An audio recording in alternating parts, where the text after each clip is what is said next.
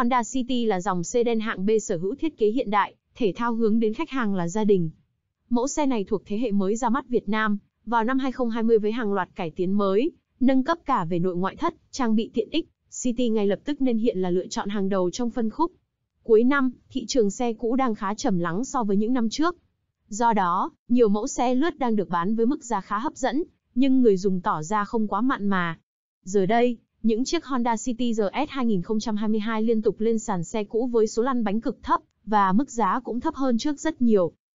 Trong đó, một chiếc xe Honda City RS 2022 mới chạy 8.000 km đã được giao bán và nhận được sự quan tâm của cộng đồng người dùng. Chiếc xe này đã giao bán cách đây một tháng, với mức giá 595 triệu tương đương Honda City RS, mới giá 599 triệu chưa bao gồm chi phí lăn bánh. Theo ghi nhận, sau một thời gian bán không ai mua, chủ nhân của chiếc Honda City RS này đã hạ xuống còn 555 triệu tức giảm 40 triệu. Đây rõ ràng là mức giảm cao với một chiếc xe thuộc phân khúc hạng B như Honda City.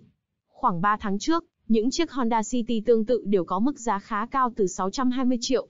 Tuy nhiên, khi thị trường ngày càng khó khăn, xe cũ đang giảm sâu nhưng vẫn rất khó tìm thấy chủ mới. Hiện tại xe mới còn đang được giảm 100% phí trước bạ lên 65 triệu tại đại lý. Honda City RS là phiên bản cao cấp nhất, với phong cách thiết kế thể thao hướng đến giới trẻ.